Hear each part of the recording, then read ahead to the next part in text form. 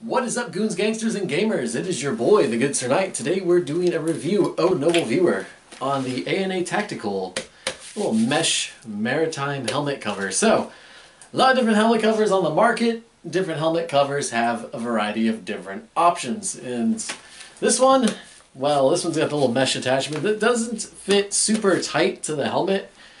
But that's okay because that's going to help us break up the overall uh, design and everything of that. So it's not going to look as solid helmet-like.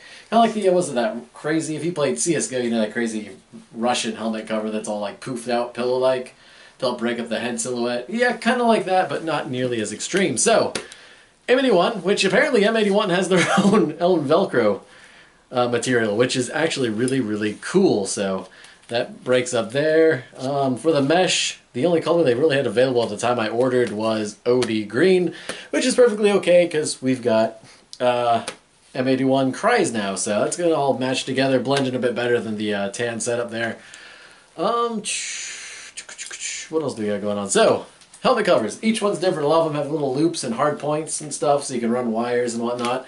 This, um, this doesn't have any wire running stuff. It's all Velcro all the way up to the uh, shroud, your NVG shroud up there.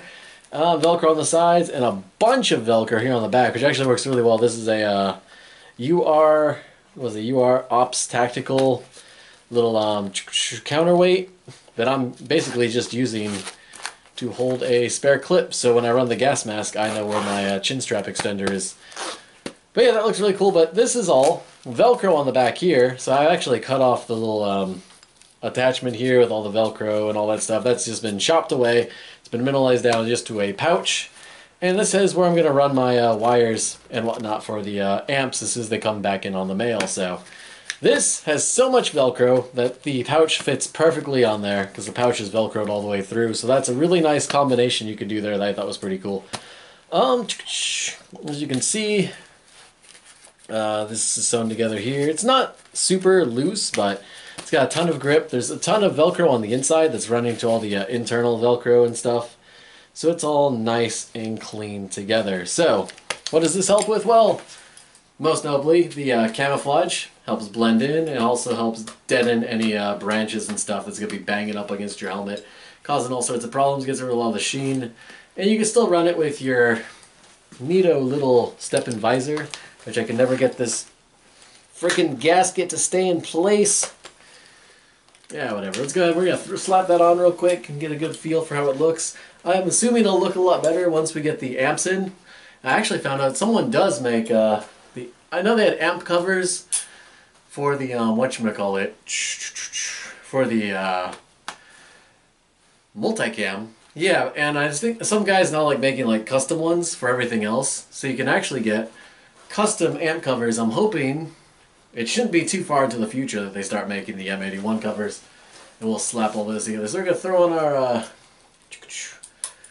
Sordin here. I've been using this almost every day now. It works fantastic. I like the little chin strap design. We're going to slap that on with our goggles. Just see how that looks without the uh, amps going on. So clear that out. Drop in the visor. Oh, yeah, son. So this is look, well, the fit over the amps. So this is our ear protection there doing the port. Yeah, we got a cool limited one stuff going on. And we are looking pretty fantastic. So, grab your blaster, slap that down that way. And yeah, so it does give you a bit better cover concealment. You can shoot this pretty well with the Sordin and stuff. All of which is entirely irrelevant to our helmet cover story, but oh I mean, if you got the chance to look cool on camera, you gotta take it, right? Pretty easy to do. Not as bad as it used to be. It's a bit more cardio to be doing fine, so. Is my TV still on? Huh. Oh well. So yeah. Helmet cover. There's a lot of them. Put that down, okay. Pop that free. Yeah, so helmet covers a lot of things you can do. So yeah, we don't have too many hard points, but we also don't have too many like crazy devices and stuff up on our kit. Anyway, let me pop this step-in visor free real quick. Yeah, just like that. And if you take a look here, you can see it runs from this single little sewn-in band underneath the shroud. A lot of the shroud here is actually covered. Let me pop that free. So the shroud gets covered except for the uh, actual access point and the bungees. So a lot of stuff goes on. You can see that's a little V-cut there. So we upgrade the shroud next month, we'll see if that's problematic or not. I think it's going to be just Gucci. And yeah, I really like the way it came out. It's mostly mesh all the way on the bottom. You can actually see back there there's a bit of mesh going on.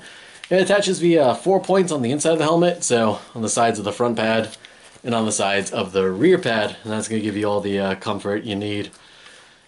So it's nice and secure. It took a second to get together. I kind of like it going over the rails, honestly, just because it gives you a little bit more camo and protection for said rails. But yeah, so that's all there really is. There's not too much to say about it, and it looks cool as hell. And it's one of the few helmet covers in M81 that's readily available for the OpsCore Maritime. So that's all I got for you guys. Just want to show off the cool helmet cover. It'll look better when we get the uh, new rails and whatnot installed on here. And uh, new rails, new shroud. And what else were we to do? There's something else I was to do with Oh yeah, amps. So we'll get this all peached out and we'll be looking pretty good. So that's all I got for you guys. If you have any questions, let me know. A&A Tactical, I know they've got a few reviews on their website, but as far as helmet covers go, I'm really digging it because I didn't really use all those loops and stuff anyway. Being able to route everything through this uh, little battery pack is all I really needed. So, cheers! See you guys in the next video. Bye bye. Where's the button?